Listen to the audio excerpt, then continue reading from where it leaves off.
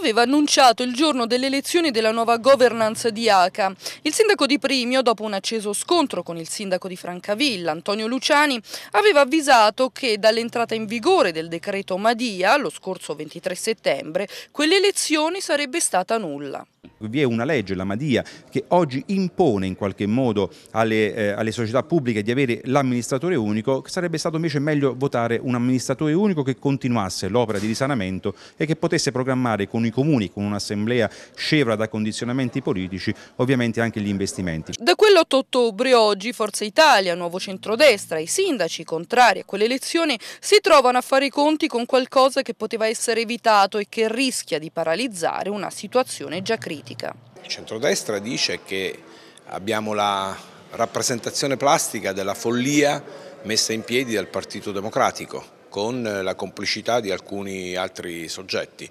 E del 2 di novembre una nota da parte dell'Ato indirizzata al Consiglio di amministrazione di ACA in cui Ato dice sostanzialmente dovete limitarvi alla ordinaria amministrazione perché probabilmente la vostra nomina è illegittima e contro la legge Madia che era la tesi che abbiamo sostenuto sin dal primo momento.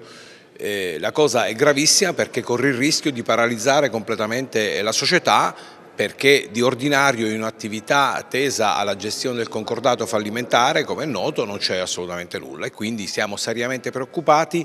eh, del rischio paralisi che ci sarà. In particolare su Pescara c'è un rischio ancora più grande che il 31 dicembre scade il contratto di gestione del depuratore.